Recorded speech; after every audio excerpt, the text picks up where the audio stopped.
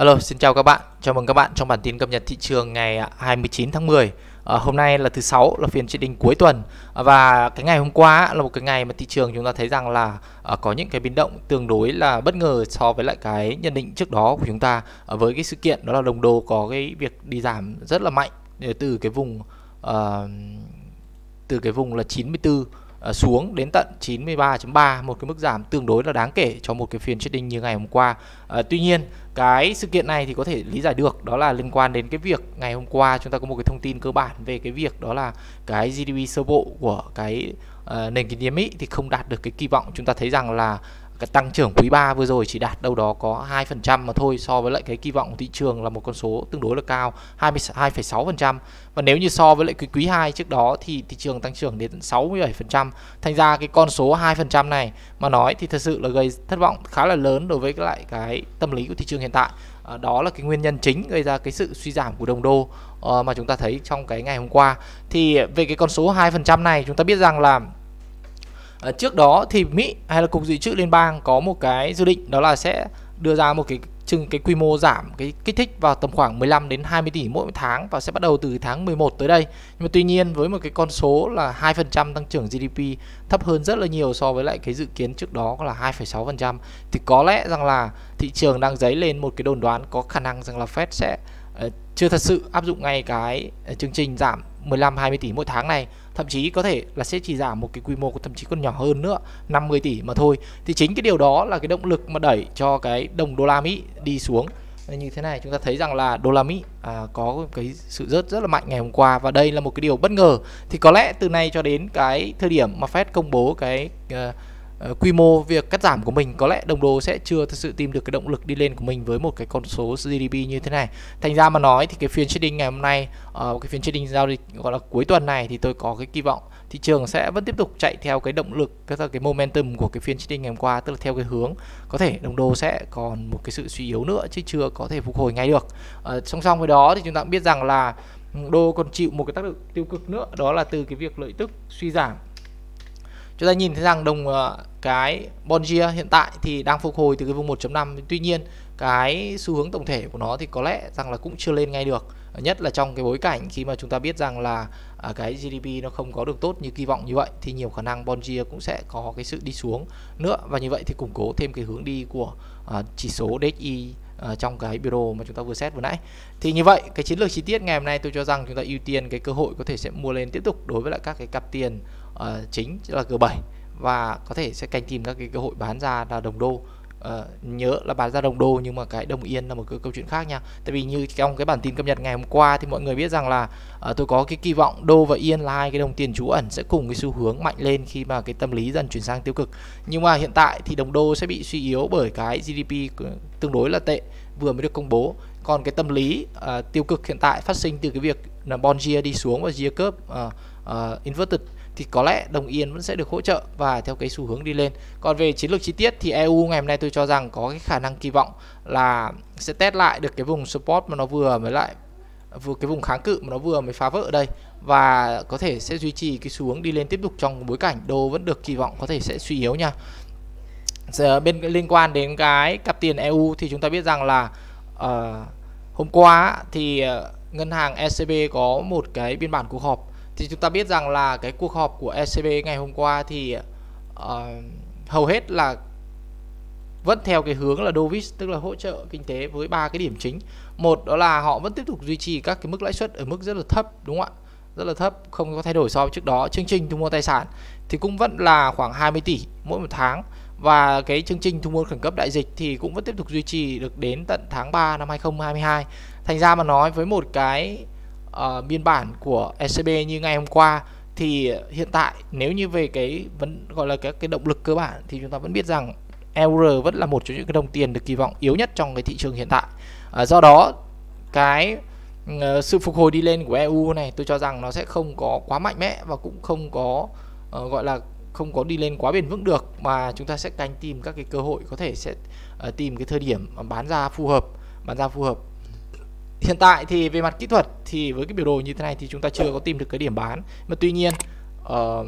về cái động, động lực cơ bản thì chúng ta biết rằng là có thể EU nó sẽ sớm quay trở lại cái xuống giảm thôi có thể không giảm so với lại cái đồng euro đồng đô la Mỹ nhưng có thể có lẽ sẽ giảm so với lại những cái đồng tiền khác trong cái nhóm G7 nha. Tại vì chúng ta biết rằng ECB hiện tại là một trong những ngân hàng vẫn giữ cái quan điểm gọi là dovish của mình còn những cái ngân hàng khác, ví dụ như là BOC chẳng hạn thì dường như là đã đang trong một cái lộ hay là RBNZ thì dường như là đang trong một cái lộ trình đã là thắt chặt chính sách tiền tệ rồi. Thành ra mà nói euro hiện tại có lẽ ngày hôm qua nó bật tăng tương đối đáng kể như này là vì cái sự kiện cái GDP của Mỹ nó ra thật sự là quá tệ so với lại cái kỳ vọng mà thôi. Còn về cái động lực cơ bản thì thật sự là chưa có thay đổi. Chúng ta lưu ý cái điểm này nha.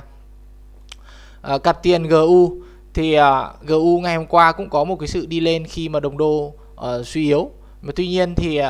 có lẽ là GU có lẽ còn vẫn có cái dư địa tăng nhiều hơn là so với lại EU. Tại vì chúng ta biết rằng là thị trường đang có những cái đồn đoán về cái việc à, ngân hàng trung ương Anh BOE sẽ có những cái động thái ờ, thắt chặt chính sách tương đối là bất ngờ uh, theo cái hành động của The Fed. Tại vì chúng ta biết rằng uh, trong số các cái nước cơ bảy thì uh, Anh là một trong những cái quốc gia mà dường như là có cái chính sách tiền tệ họ copy ta dùng từ copy nha rất là giống với lại cái chính sách tiền tệ của Mỹ. Cho nên nếu như thời gian tới chúng ta thấy Mỹ thắt chặt chính sách tiền tệ thì có nhiều khả năng chúng ta cũng sẽ thấy Anh sẽ hành động theo. Ờ, và Anh thì cái ngân hàng của họ không có thật sự quá là dovish giống như là ECB thành ra mà nói. Thì về cái động lực cơ bản có thể chúng ta có thể nói rằng là đồng bảng Anh còn có cái động lực tăng mạnh hơn so với lại cái uh, đồng tiền euro. Thành ra mà nói thì với cái biểu đồ này tôi có cái kỳ vọng cái trendline tăng giá này sẽ được hỗ trợ sẽ được ờ, phát huy trong thời gian tới và nhiều khả năng cặp tiền này sẽ vẫn còn đi lên nhất là trong bối cảnh đồng đô có cái sự điều chỉnh giảm sau cái uh, tin GDP ngày hôm qua. À, ờ, uh, USD GPN thì như có đề cập trong cái phiên trading ngày hôm qua đó là cái tâm lý dần lo ngại phát sinh khi mà cái yield curve trở nên uh, đảo nghịch và đồng tiền có một cái uh, đang có một cái xu hướng là dòng tiền luân chuyển vào cái đồng yên Nhật. Thì chúng ta thấy rằng là cặp tiền Uzi ngày hôm qua cũng tương đối là yếu. Uh, trong cái bối cảnh bất chấp rằng là ông Nhật ông ấy có một cái công bố một cái cuộc họp uh, cái biên bản cuộc họp của mình. Thì về cái cuộc họp ngày hôm qua của Nhật chúng ta biết rằng là uh, hầu hết tất cả các cái chính sách của họ vẫn được giữ nguyên nhưng mà cái mà họ có thay đổi đó là họ đã điều chỉnh cái dự báo về cái kinh tế của mình. Cụ thể là hai cái tiêu chí GDP và CPI thì chúng ta biết rằng là cái năm à, tài khóa năm tài chính năm ngân sách của năm 2021 này thì ờ, trước đó họ đã có cái gì ờ, dự báo là GDP sẽ tăng trưởng ờ, từ khoảng 3,5 đến 4% và trung bình là 3,8% nhưng ngày hôm qua họ đã điều chỉnh GDP chỉ còn đâu đó 3,4% dao động từ mức 3 đến 3,6% mà thôi. Theo kèm theo đó là cái CPI tức là thước đo lạm phát Ờ, bao gồm luôn cả các cái lĩnh vực thực phẩm thì chúng ta thấy rằng là ờ, CPI cũng sẽ chỉ gọi là cái lạm phát gần như là ở mức không mà thôi. Chúng ta biết rằng Nhật luôn là một quốc gia rơi vào giảm phát mà. Do vậy trước đó thì họ có kỳ vọng ờ, khá là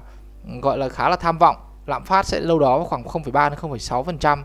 Thì, tuy nhiên hôm qua thì họ đã điều chỉnh chỉ còn có 0 đến 0,2 phần trăm thôi. Với cái sự điều chỉnh như thế này thì chúng ta biết rằng là nhiều khả năng họ vẫn sẽ mạnh tay giữ cái chương trình uh, hỗ trợ hiện tại và đó là cái động lực có thể sẽ là động lực làm cho cái đồng yên trở nên suy yếu. Tuy nhiên, trong ngắn hạn thì chúng ta biết rằng là hiện tại cái yield cướp đang chuyển mình và yield cướp chuyển mình là một cái tín hiệu tích cực cho cái đồng yên Nhật có thể sẽ mạnh lên. Thành ra mà nói thì trong bối cảnh khi mà đồng đô có cái sự suy yếu như vậy, tôi kỳ vọng có thể cặp tiền Uzi trong thời gian tới sẽ còn ờ, đi xuống hơn nữa nha và chúng ta sẽ ưu tiên các cái cơ hội tìm cái thời điểm bán ra khi mà cái cặp tiền này có những cái sự retest trở lại cái ờ, trendline giá giảm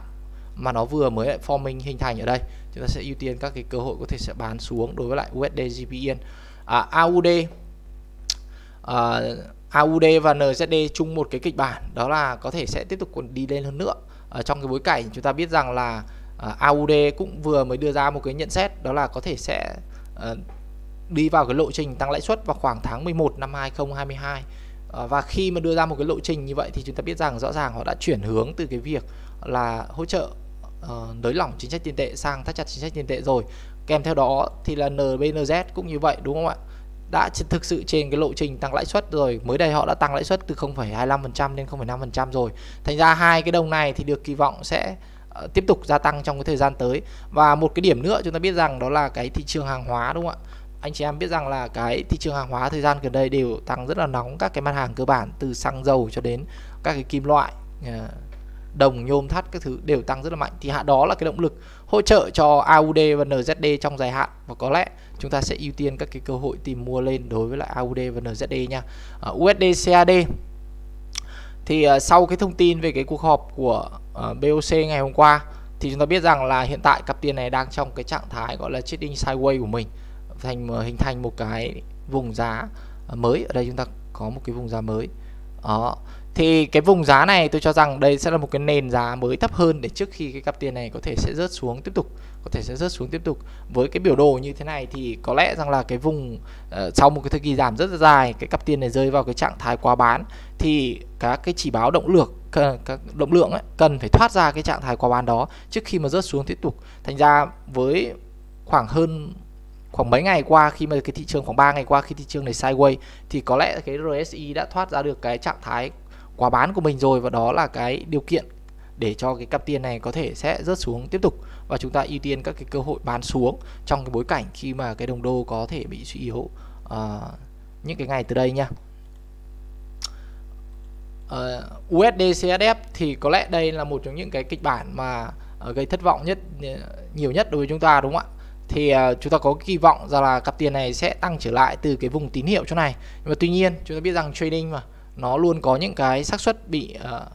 uh, stop loss bị thất bại đúng không ạ? Và đây là một cái kèo điển hình như vậy một cái tín hiệu forming rất là đẹp kèm theo các cái động lực hỗ trợ cơ bản. Và tuy nhiên vẫn bị stop loss và hiện tại thì nó đã là hoàn toàn nằm trong một cái kênh giá giảm uh, rất là mạnh rồi. Với cái cấu trúc giá như thế này thì chúng ta cũng không Ờ, tất nhiên là phải điều chỉnh cái quan điểm của mình, nó sẽ rất khó có thể đi lên ngay được. Và nếu như muốn bán thì cũng chưa bán ngay được mà cần có những cái quá trình điều chỉnh, retest ờ, trước khi tham gia vào cái vị thế bán trở lại. Ở đây chúng ta có một cái vùng kháng cự và có lẽ nếu như cặp tiền này có thể retest trở lại cái vùng kháng cự 0.9160 à, phía bên trên này thì chúng ta sẽ tham gia vào cái vị thế bán xuống. Nếu như mà nó có các cái tín hiệu như là nến Eganfing hoặc là pin 3 xuất hiện tại ở đây nha. Ờ, trên cái thị trường vàng thì à, chúng ta biết rằng là vàng chạy khá là sát theo cái kịch bản ngày hôm qua đó là nó thật sự đã tăng trở lại cái vùng kháng cự 1810 mà tuy nhiên thì động lực của vàng có lẽ sẽ còn đi lên tiếp tục đi lên nữa nhất là trong cái bối cảnh chúng ta biết rằng là đồng đô cùng với lợi tức cùng suy yếu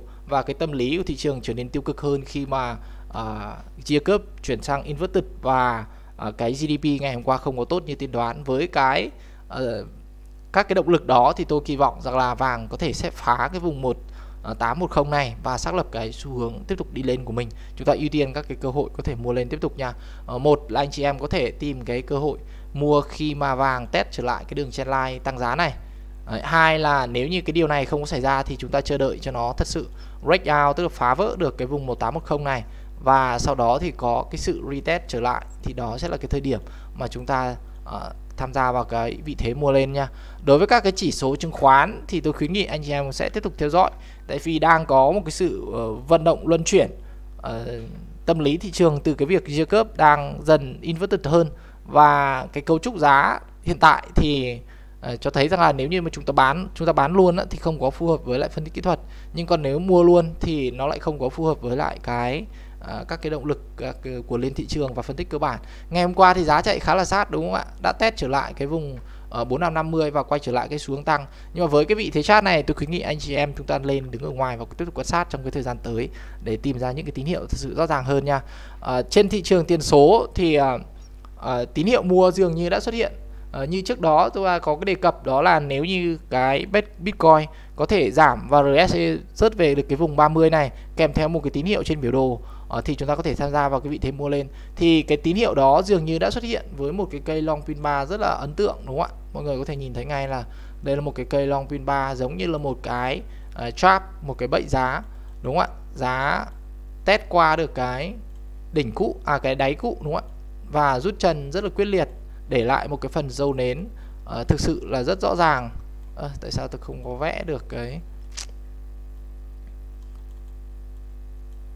có lẽ đang bị lỗi nha thì ờ, ở đây là một cái tín hiệu cho thấy rằng là thị trường có cái khả năng tiềm ẩn cái cơ hội sẽ đi lên tiếp tục và chúng ta ưu tiên các cái cơ hội mua vào trong cái uh, thị trường của Bitcoin cùng với lại các cái đồng tiền altcoin cơ bản khác nhau. Thì trên đây là cái bản tin cập nhật thị trường ngày 29 tháng 10. Xin chúc quý vị và anh chị có một ngày giao dịch hiệu quả.